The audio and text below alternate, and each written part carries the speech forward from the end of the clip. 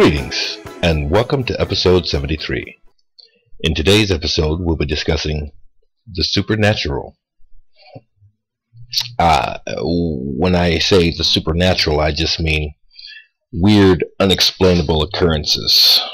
Whether it be you thought you saw a ghost, or I thought I saw a ghost, or something, something just unexplainable. And I'll start with some of the smaller items and move up to uh, some of the bigger items, I guess. So they're not exactly in chronological order, but they're going to go from the cutesy weird to the oh my god, you could make a TV show out of some stuff like that. okay, so if we're ready, let's get started. Now sit back, relax, and enjoy.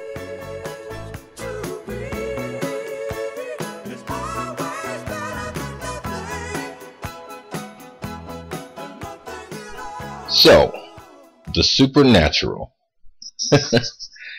a lot of these stories, or should I say some of the, a few of these stories, revolve around a couch and chair that we received from my wife's grandmother upon her death. We got her little furniture set, which, like I just said, it was a couch and her little comfy chair. And uh, when we first got the stuff, nothing weird happened, and then all of a sudden, weird stuff started happening. Now, let me give you a little bit of setting for this, a little backdrop. Uh, my kids were much younger. This was like 12 or 13 years ago. So my one daughter was three, two, and my other daughter was one. So, was she two? Yeah, one was two, one was one. And they had their little they had toys in their room but they had a toy box out in the living room. That way it was easier for us to clean up after them. We didn't have to haul everything back into their bedroom. We could just chuck it in their toy box in the living room. Well you, if you have kids or go around people with kids you see the different types of toys they have. Well they had a toy phone. Uh, and i was home by myself at this time but similar things happened to my wife when i wasn't there and I'm sitting on the couch and I'm watching TV, and all of a sudden, the phone, you know, you push a button and it says the number you push, and it says six. And it waits a minute and it says six. and I said, if it says it again, I'm chucking it in the garbage. Six. I said, okay. But I didn't have the heart to throw my kids' toys away, so I just took it and I know this was wrong. I should have put it probably in my room to keep my kids safe, but I chucked it in their room to keep me safe.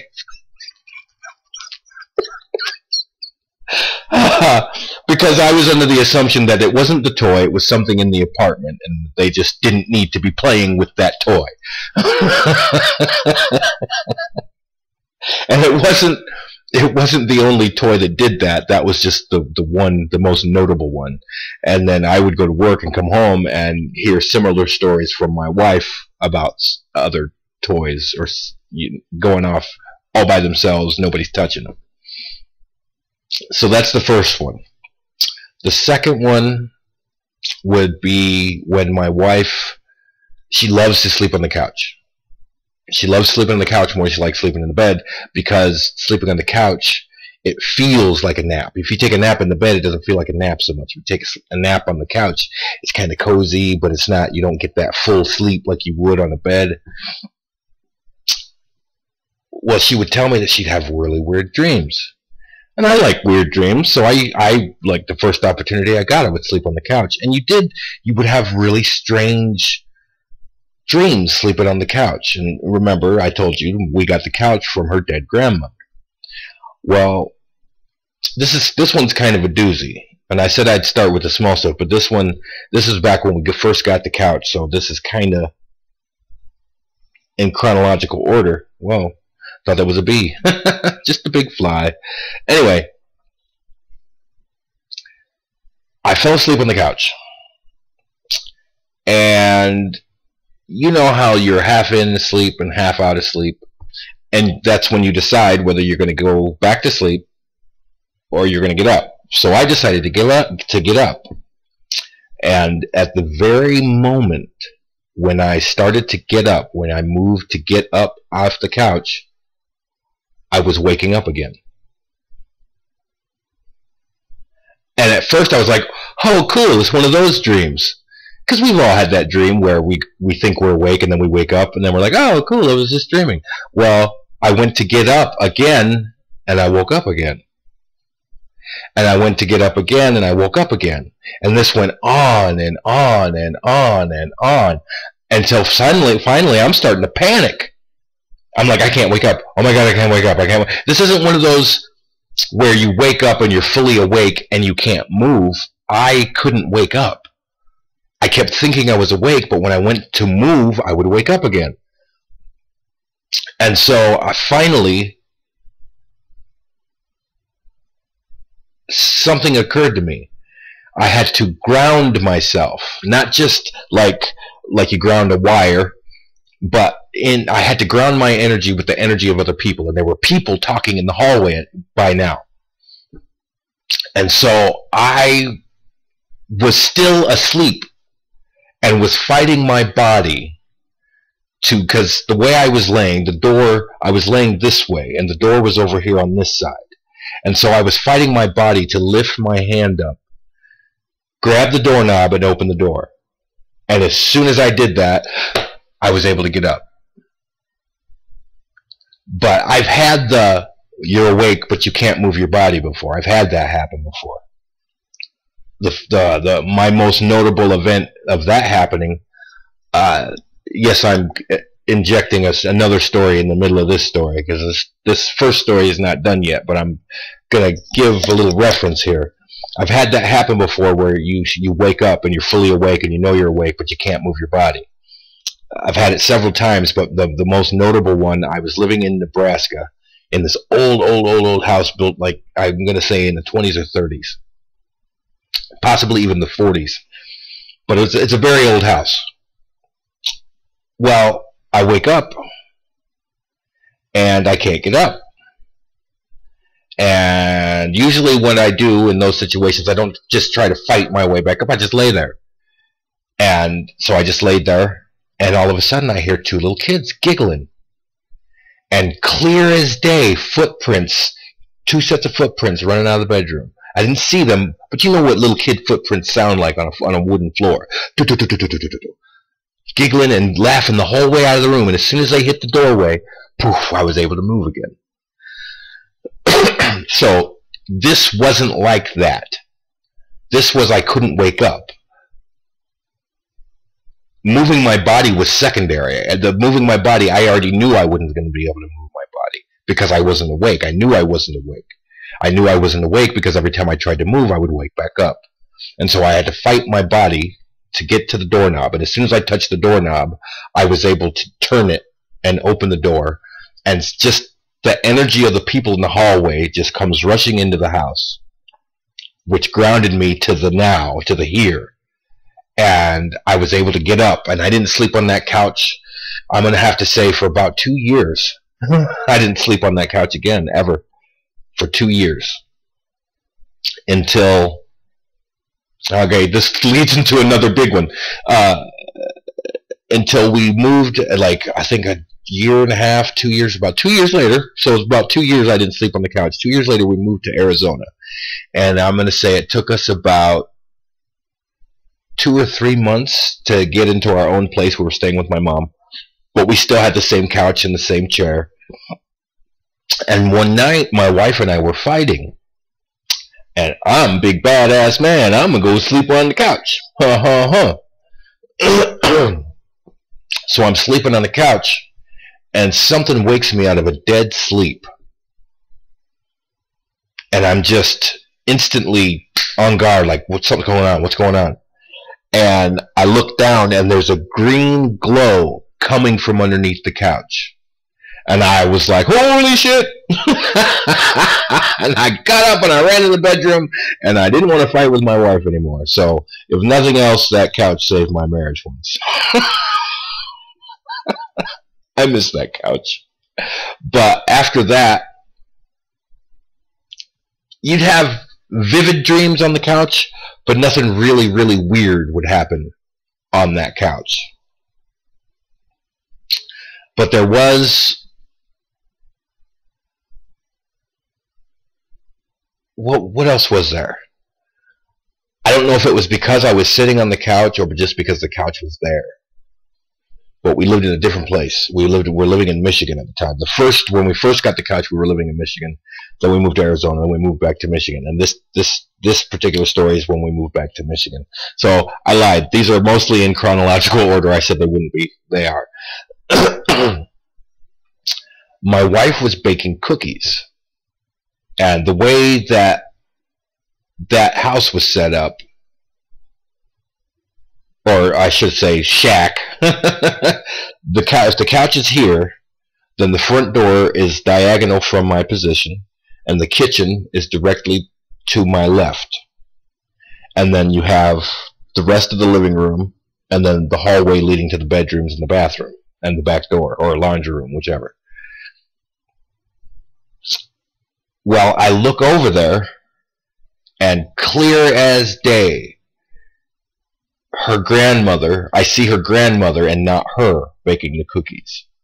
And you know how you shake it off and look again? Well, I shook it off, looked again, and instead of she didn't disappear, but now I could just I could see my wife standing there also, and she was like in my wife, showing her like she was the one baking the cookies, and my wife was just like a vessel for this woman to make my family cookies, which the cookies were awesome, but still kind of weird.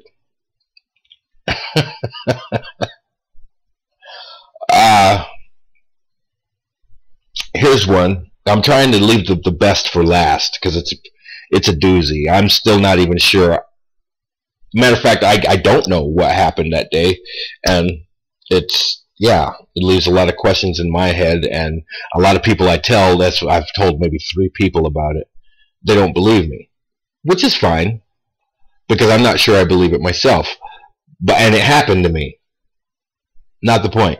Point being, I'm an over-the-road truck driver. I don't know if you've seen my other videos or heard me say it, but by trade, I am an over-the-road truck driver. That's not what I do for a living right now, but I am a Class A CDL holding professional driver. Well, on one occasion, I happened to uh, my delivery. I got to my delivery early, and it didn't deliver for another day and a half or two days or something like that. And so I found a safe place to park. They call it Safe Haven, is what it's called. I found Safe Haven that wasn't in any uh, buddy's parking lot. I wasn't taking up any space and or being a nuisance. It was an abandoned factory of some sort. And uh, I was there for uh, for the first, I'd say, half day, and then nighttime, about dusk, rolled in. I would say dusk rolled in, and it was not dark, but it wasn't like super bright noon out. And there was a cat that had been running around out there, and he was out on the side of the building, and you know, cats chase things that aren't there. Well, this instance, I happened to be able to see what he was chasing. Little blue and green orbs were bouncing. When I wouldn't say bouncing, they were like flying back and forth, and he was chasing them. And that wouldn't have struck me as weird because we've all heard of orbs. Well, most of us. But when you walked past the building, you would swear there were people inside the building. Mean, this place was deserted and abandoned. And you would swear there was people in that building watching you as you walked by. Because I had to, there was a gas station uh, about an eighth of a mile away. And that's where I would go to use the bathroom. That's where I would go to get my food and snacks and whatnot. Because, like I said, I was stuck here for a day and a half, two days. So but every time you walk by and if it was if it wasn't like daylight you would just have this feeling and i want to say i saw some stuff but could have been shadows could have been whatever but regardless of what i saw you could feel people watching you it wasn't like a malevolent oh i'm going to get you like they show in the movies it was more of a hey how you doing and I was like, cool. You know, I didn't feel afraid or anything, so I was like, cool, you know, wave. but then that after that is when I started seeing the cat chasing the orbs. And two days that went on, the cat chasing the orbs, and I could see them. That's the first time I'd ever been able to see what the cat was chasing. And I was like, whoa, that is so cool. And that's the first time I ever just sat and watched the cat chase nothing. He was just having the time of his life. And from what I saw, the little orbs were having the time of their lives. They were, they were all, everyone was having fun. I thought it was really cool. That was one of the, my coolest little supernatural stories. Ah, let me, can I think of another one? Hmm. I don't know. Trying to think of, uh, I mean, because I've got some really cool ones, but these are, these, this is my best stuff here. Well, I could tell you stuff about this apartment I live in right now. Where I where I live, sitting on the couch, as you can see. Okay, the front door is directly to my left, about I'm going to say about 10 feet to my left. Uh, you got the TV, window, and living room. Pretty much, this is it. And then over here's the dining room, sliding door, uh, about 25 feet away, maybe 30 feet away, is the laundry room, and around this little cut little wall is the door to my bedroom. Well, I sit here at this table a lot because my laptop's here. This is where I make my videos, and this is where I do my computer stuff. And sometimes this is where I play my video games from because I'll watch documentaries while I'm playing video games. Well, every so often you'll see something move out of the corner of your eye, and like I said with the other story, you you know you shake it off, look back, and it's gone. Well, you shake it off and look, and it's still there. People moving around in my bedroom. And at first it would only happen with the door if the door was, you know, cracked and you maybe see a little something go by. But the door is wide open now. And I've been seeing people move around in this bedroom pretty much all day. And my wife and my kids are out at the pool. Matter of fact, the reason they're out of the pool is because I'm making this video and they didn't want to disturb me. So, yeah, that's another thing. And the, my wife swears because I even when I was truck driving, but now that I'm not, I still I work nights, so we don't sleep together except for on my days off. Or should perverts? What I meant to say is we don't sleep in the same bed at the same time unless I have a day off. Anyway, uh, she says several times she's felt like someone has walked into the room and up to her, or there was someone in the room with her and the light's on and she knows there's nobody there. Or sometimes we'll be sitting here in the living room and someone will knock on the door and you go to the door and nobody's there. And the kids are asleep. So there's that. Just high weirdness. and it'd be different if it was just me okay because i'm used to weird stuff but my wife is telling me this stuff that she's experiencing this stuff when i'm not here. Matter of fact she was experiencing the knock on the door thing before it ever happened to me. She said oh that's been happening for a while. And i was like really? She said yeah. I said you it's not the girls kicking the wall? And because i have my daughter's bedroom is right directly behind this wall right here. There's two two girls in there. One sleeps on this wall, immediate wall. One sleeps across the room. So if she kicks, there's no way she could kick the wall because her bed is perpendicular to the wall. The daughter that sleeps on this wall, her bed is parallel to the wall. But the wall is drywall and the door is metal. Two distinctly different sounds. But just to be sure, I asked her, you know, did, could Raven have kicked the wall? And she said, this happens even when Ravens stay in the night out. And I'm like, oh, okay. that kills that theory. oh, but I've never thought ever, not since we got together. And it's not that I've never seen ghosts or we've never experienced ghosts. The last place we lived in Michigan was heavily heavily trafficked by spirits. But I'm not the kind of person that doesn't want them there. And neither is my wife. They just give her the willies because, well, my life, my, my life, my wife likes to be afraid. Fact. Okay, so she likes to be afraid. So when the spirits come, she knows they're there, but she she gets uneasy around spirits. Whereas I'm like, cool, and uh, sometimes I'll try and interact with them, and that may sound weird to some people, but that's how I roll. and let's face it, no such thing as normal anyway, right? Ah, that's tasty. Anyway, so my last story. I don't know if this is just weird or you could chalk it up to supernatural. I was, how old was I? I want to say I was 30, 31 years old, possibly even 32 years old. So this was about 10 years ago. And I was coming home from work. And if anybody knows how Phoenix, Arizona is laid out, I lived at the time, matter of fact, we're moving back to this place. I live just off the 17 on uh, the I-17 on Thomas. Thomas Road or Avenue or Street, whatever. Thomas Road, I think it is and uh, when you get off at this exit heading north, you get off on the Thomas exit heading north, you cross underneath what is called Grand Avenue. US 60 if you're a trucker. And uh, and then you go up this hill and you go to the light and then you I would take a right and then the first left and then my my place was down that road. Well, one night I'm driving home from work. I work nights. I was a security officer. I'd get off like at three or four in the morning.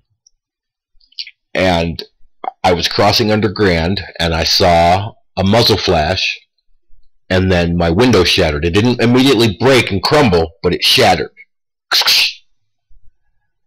And I blacked out. And when I came to, my car was rolling out into the intersection. The light was green, but my car was rolling out into the intersection. It's a five-speed manual transmission, so I uh, first thing I did was check everything, make sure I wasn't bleeding. I was looking for blood, no blood, but my head hurt as as though I mean it hurt. There was pressure, there was pain, as though I had been shot. So I put the car in gear and I went over to make that first left turn to go down my road.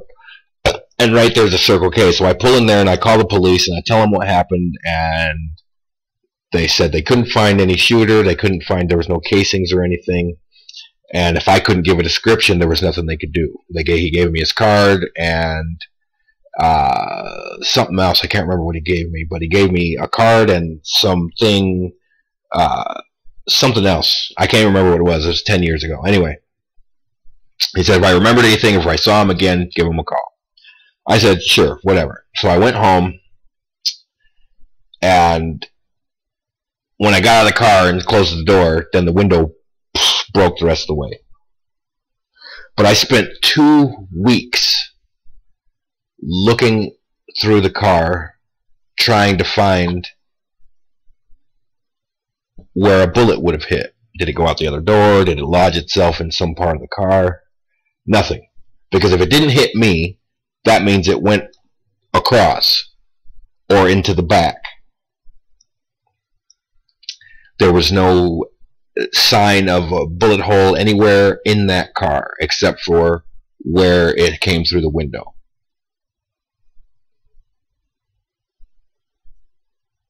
And because of the lost time, let me give you, for instance, I didn't go that way home from work for a very long time because from where I worked, it, like I said, if you know the layout of Phoenix, Arizona, I would take the 10, the 101 to the I-10, head east to the 17, and then head north on the 17 to Thomas.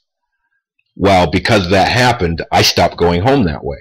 I would go all the way around to the north on the 101 hit the 17 and head south, which was twice the distance, but I refused to go under Grand. And then a few months passed, and finally I said, you know, fuck it, face your fears, whatever. So I went all the way around, one or not all the way around. I went home the normal way, and when I came under Grand, I was terrified. I've been now, mind you, I've been shot at before, and being shot at and having guns pulled on me does not scare me. Okay, it's happened before. But I was terrified to go under that bridge.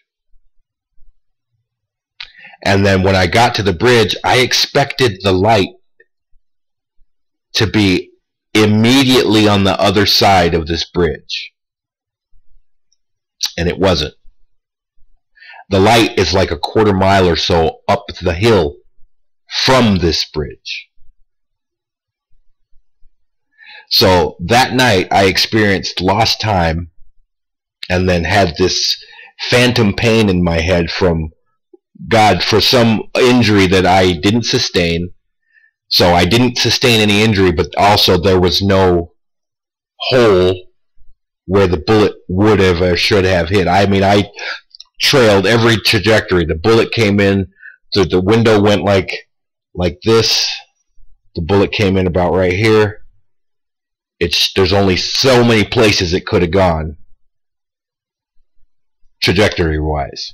I checked the back seat, the side, the, you know, the passenger seat, the door, the console. I checked everything that it could, the bullet could have possibly hit. There was no bullet hole at all. And like I said, gunshots don't make me faint. If anything, I've run toward gunshots and have had guns pulled on me. I've watched two men wrestle over a gun with one having the intent intent to kill the other one. Okay? people screaming and I'm running towards them. I'm a security officer. That's what I do. Not to mention, I grew up with some rough people.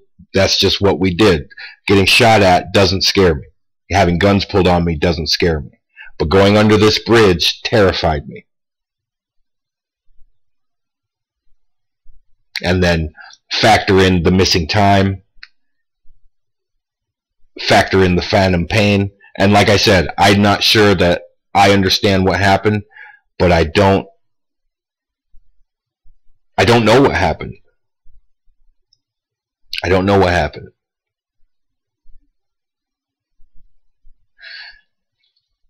And uh, so I told this story to someone, and they said maybe God has plans for you. I, said they must be some pretty damn good plans if I was pulled from the jaws of death. But if I wasn't pulled from the jaws of death, and it was just a fluke, where was the bullet? I mean, God, the guy missed. Where's the bullet?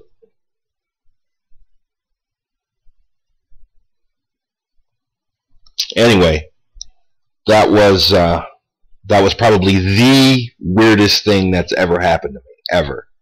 And I'm talking I've just told you about all the times I've seen ghosts or had weird experiences. I've even seen UFOs. But that's I don't consider UFOs to be supernatural, but just for argument's sake, we'll give you that one too. So I'm sitting on my car on on the hood, you know, sitting on the hood, resting on the windshield. My life's going kind of sideways. so, and I'm not religious, but I do believe there is a God or something out there to that effect. I don't think that this being has a job title. He just exists. It just exists. Because I'm not going to say whether it's a male or female. But I said, God, just give me a sign. And looking up at where from where I was. I was parked on the opposite side of the building from where my apartment was, and you could see over the to the top of the building. You could see to the top of the building. You could see over it, but you could see the top of the building, and there was a bank of clouds there. And then over here, there was another bank of clouds. I mean, the banks of clouds were not like right together. There was a bank of clouds just over the building and a bank of clouds back over here. And as soon as I said, God, just give me a sign, three translucent, what color? Pastel colored orbs. And they kept, the colors weren't just like fixed, they were like undulating, I guess you could say, or, or whatever, what would you say, just changing, kind of like disco lights. No, not like disco lights, because it wasn't fast, it was like, like kaleidoscopic almost. Just just pastel colors, translucent pastel colors, green, yellow, blue, and it just three of them, and they flew out of one bank of clouds and into another one. And before you start rattling off different types of aircraft, I grew up in the United States Air Force. My favorite, all-time favorite technology is airplanes. At that time, I knew every form of conventional aircraft that had ever flown from dirigibles to weather balloons and every plane in between, from Kitty Hawk all the way to the SR-71 Blackbird, every scramjet tester, every fucking test plane, you name it, even their little fucking fan-driven UFO discs that they used to fly. If they've flown it and it's a conventional, i.e. internal combustion engine craft, I knew about it that wasn't it. Do I know what they were? No. Do I think they were any type of conventional aircraft that humans use? No. Do I think they were intelligently controlled craft? Yes. Do I know what they were? No. That means to me, I don't know if anybody else can identify them, but myself, I cannot identify them. So that makes them unidentified flying objects. That doesn't mean that they weren't controlled by humans. That means that I cannot identify them in the vast catalog of aircraft that I have in the noggin.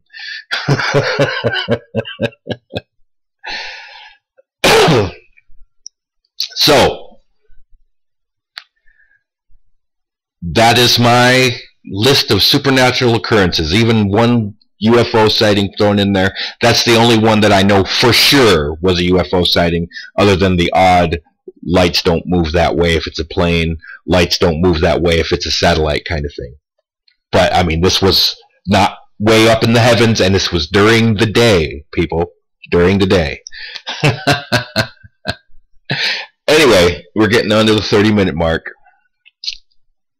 Uh, I hope you've liked this video. I like doing it perfect for Memorial Day. Something offbeat and lighthearted. Anyway, if you have enjoyed this episode, please click the like button. You can favorite it if you want. Uh, leave comments down below because, yeah, I'm probably going to get a rash of stuff about this one. I'm probably going to get a bunch of cool stories out of this, too. Leave your cool stories down there. Don't just try and debunk mine. Leave your cool stories. Even if you're a debunker and you've seen something and you think you've explained it, put your story down there. I want to hear it. And I want to hear how you debunked your own story too. Have at thee, in other words. Anyway, if you would like to keep coming back and getting more information, or you just like the sound of my voice, then hit the subscribe button. But until next time, you hang in there.